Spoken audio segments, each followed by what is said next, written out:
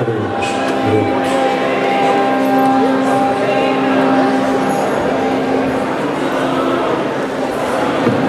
Imam Shukadana Krishna Style Shrimate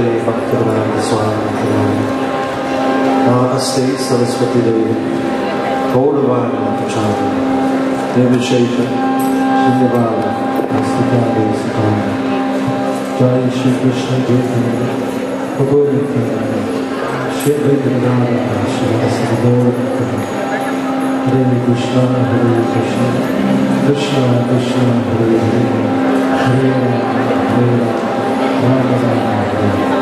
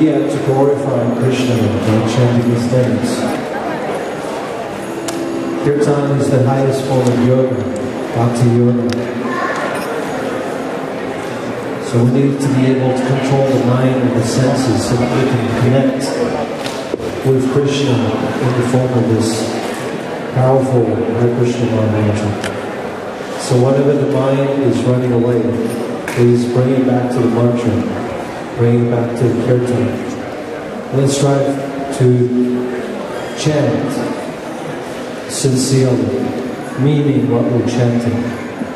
Each syllable, each word of the mantra. So let's all chant very loudly, chant with